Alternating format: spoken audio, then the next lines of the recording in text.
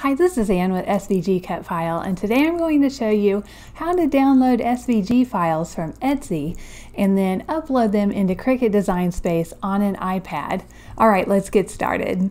First, we're going to need an app. So let's go to the App Store right here, and I'm going to search right down here for an app named Files.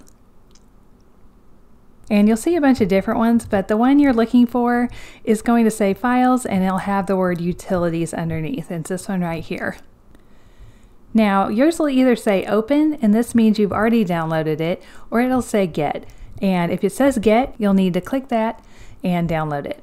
Okay, so now let's go out to Etsy and get the files that we want to download. Now you might be tempted to search for your Etsy app, but do not do that because you can't download from the Etsy app. You'll have to go out to a browser like Safari or Chrome. And then we'll go to etsy.com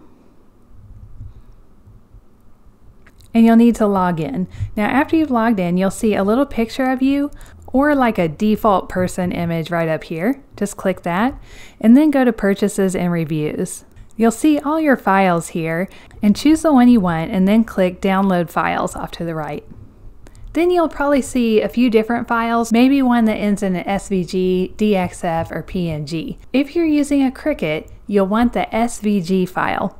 Uh, mine is coming in as a zip file, so I only have one button to push, so I'll download now. It'll ask me if I want to download this zip file, and I'll say download. And now nothing else will happen, but now we need to go to our files folder. So with four fingers, drag up like this and open the Files app. Mine is right here. I'll come down here and choose Recents, and you should be able to see your file right here. Mine says zip, but yours should say SVG or zip. Click on that, and then you'll want to preview content. Because this is a zip folder, I want to click these little three lines, and then I can choose which one I want. And I want the SVG image, so I'll click that. Now, if you only have an SVG file, you can start from here. So I'll just go ahead and click this little blue share button. And you might be tempted to choose save image, but don't do that. Choose save to files. And then I'll choose on my iPad and I'll click save.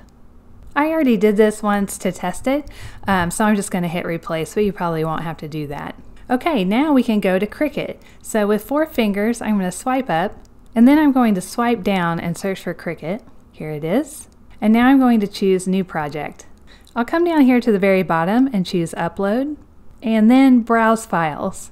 And here's the one that I took out of this zip file. So this is my SVG file. I'll click it, and then I'll have to name it. I'll just call it Believe.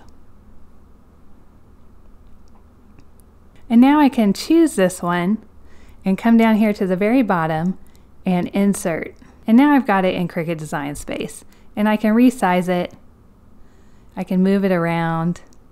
I can rotate it if I want to. And then all I have to do is make it. And that's it. Alright, if you like this video, please click on the like button, and I'll see you next week with another SVG Cut File tutorial. Thank you!